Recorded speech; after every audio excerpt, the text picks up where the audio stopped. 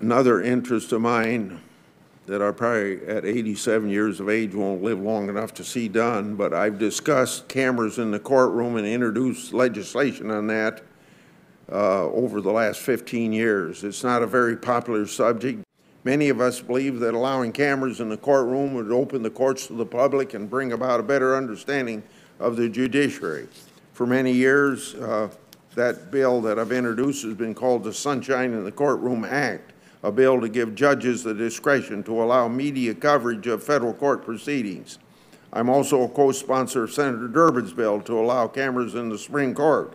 I understand that the Seventh Circuit Court of Appeals, where you currently serve, adopted procedures to allow requests for video recording of oral arguments as well as public release of the recordings. That's correct.